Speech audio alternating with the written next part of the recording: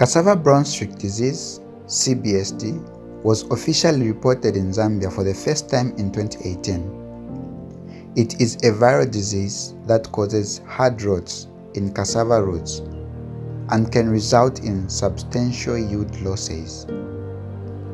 The typical symptoms of CBSD in cassava are chlorosis on leaves, appearing as yellow patches on the green leaves of the cassava plant.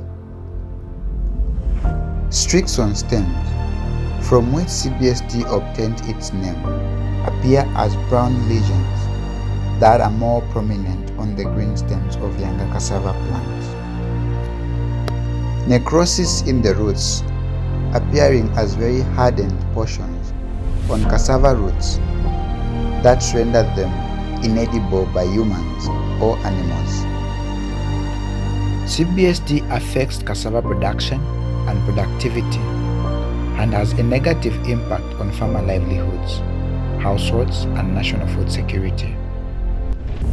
Center for Agriculture and Bioscience International, CABI, in partnership with the Department of Agriculture and the Zambia Agricultural Research Institute, ZARI, calls on all stakeholders, both from the public and private sectors, as well as the farmers, to join hands in curbing the spread of CBSD in Zambia.